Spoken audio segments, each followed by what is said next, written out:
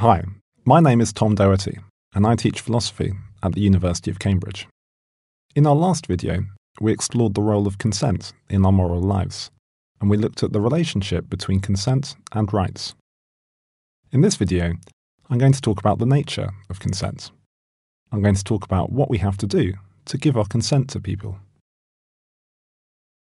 Moral philosophers are interested in what makes actions right or wrong. One topic that moral philosophers are interested in is consent. For instance, we know that as a default, it's usually wrong for other people to touch our bodies or property. They would infringe our rights.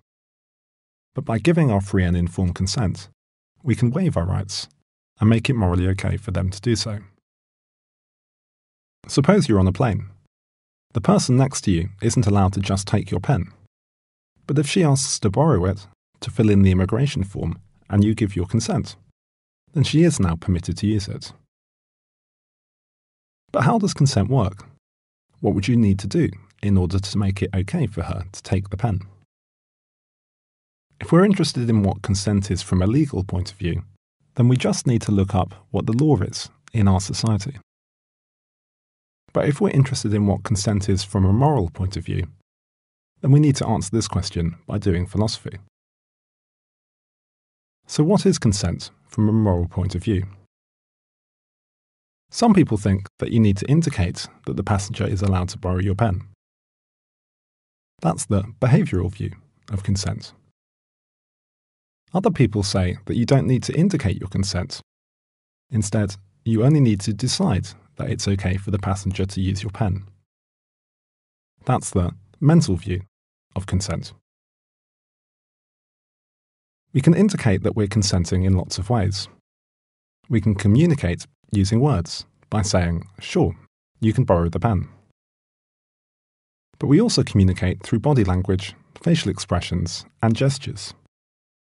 If you hold out the pen and smile at the person on the plane, then this could communicate that you are allowing her to use it. So long as it's clear what you mean, then it doesn't seem to matter how you communicate your consent. The behavioural view can agree with the mental view that you need to make a decision to give your consent. If it weren't necessary for you to make any decision, then it'd be possible for you to give consent by accident, for instance, by a slip of the tongue. But even if the behavioural view agrees that a decision is needed, it continues to disagree with the mental view, which claims that a mental decision is enough by itself for consent. This means that the mental view and the behavioural view imply different things about cases where someone makes a decision to consent but does not communicate this decision. Suppose your neighbour puts a note through your door asking to park a moving van in your driveway. You think, sure, that's fine, but you forget to reply. Even though your neighbour hasn't heard from you, she assumes that you don't mind and parks the van in your driveway. Has she acted permissibly According to the behavioural view, your neighbour did not have your permission. You hadn't indicated that you consent, and so your neighbour wasn't properly authorised to use your driveway. But according to the mental view, she has acted permissibly. After all, you didn't mind her using the drive, and the mental view says that you've consented to someone's behaviour if you don't mind their behaviour. According to the mental view, you could blame your neighbour for parking the van if she didn't have good enough evidence that you don't mind. But since you didn't in fact mind, the mental view implies that your neighbour did have your permission after all. Since the behavioural view and the mental view analyse this sort of case differently, we might try to decide which view to accept by thinking about the case. Do you think the neighbour acted permissibly? If you do, then you should accept the mental view. If you don't, then you should accept the behavioural view.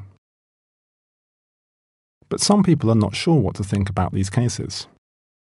And lots of people disagree about them. So it doesn't seem like we will resolve the debate between the mental view and the behavioural view just by thinking about these cases. What other reasons are there for accepting the mental view or the behavioural view? Some people say we should accept the mental view because they think that consent is an important way that we control our lives. Since we have complete control over which decisions we make, the mental view would imply that you always have complete control over what you permit people to do. You get to control whether it's okay for your neighbour to use the drive just by deciding one way or the other. No further action is required. But other people say that a mental decision is too private to count as consent.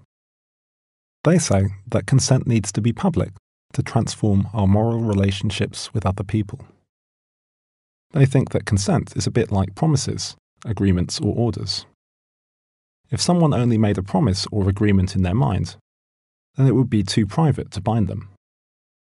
And if a sergeant only decides to give an order, but doesn't communicate this order to the troops, then that isn't a proper order either.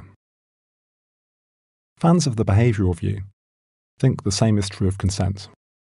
They think that consent involves authorising another person's behaviour in a public way, and this requires behaviour indicating the authorisation. While fans of the mental view disagree with the claim that consent needs to be publicly expressed, they can still agree that in practice it's a good idea for your neighbour to park her van only if you have communicated your consent. If she's just assuming that she has your consent without checking with you that it's okay, then she's taking a risk. And it's irresponsible to take risks. So you could blame your neighbour for taking this risk. So while philosophers disagree about whether consent requires communication, they can agree that to be responsible, you should make sure that you've got another person's consent. In practice, that usually means that this person has to communicate her consent to you. Otherwise, you'd be irresponsible by going ahead.